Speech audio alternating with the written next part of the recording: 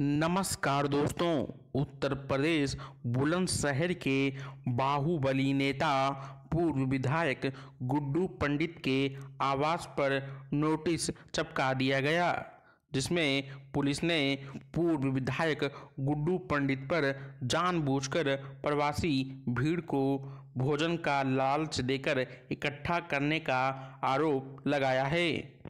बाहुबली पूर्व विधायक के इस कृत्य को पुलिस ने लॉकडाउन का उल्लंघन मानते हुए कार्रवाई करने की चेतावनी दी है। आपको बता दें कि पूर्व विधायक गुड्डू पंडित लॉकडाउन के दरमियान प्रवासी मजदूरों को अपने आवास पर रोककर उनकी मदद के लिए उनके भोजन पानी की व्यवस्था करवा रहे हैं। परेशान मजदूर को उनके घर तक भी पहुँचा रहे हैं पूर्व विधायक गुड्डू पंडित।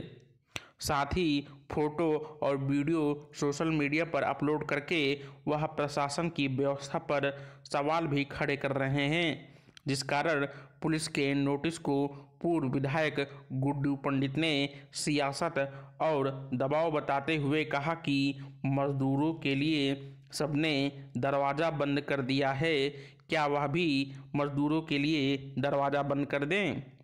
उनका कसूर इतना है कि वह प्रवासी मजदूरों की मदद कर रहे हैं, जो आगे भी वह करते रहेंगे।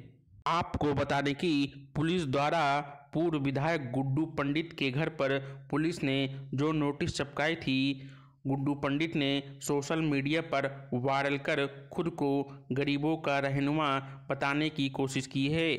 बाहुबली पूर्व विधायक गुड्डू पंडित के ऊपर एक बार फिर पुलिस की कार्रवाई हो रही है। गुड्डू पंडित बाहर से आए हुए प्रवासी जो मजदूर थे, उनके लिए भोजन की भी व्यवस्था कर रहे हैं, साथ ही उनको घर भी पहुँचा रहे हैं। लेकिन फिर भी पुलिस उनके खिलाफ कार्रवाई कर रही है। दोस्तों, अगर आपने चैनल को सब्सक्राइब नहीं किया है तो चैनल को सब्सक्राइब कर लें। वीडियो देखने के लिए धन्यवाद।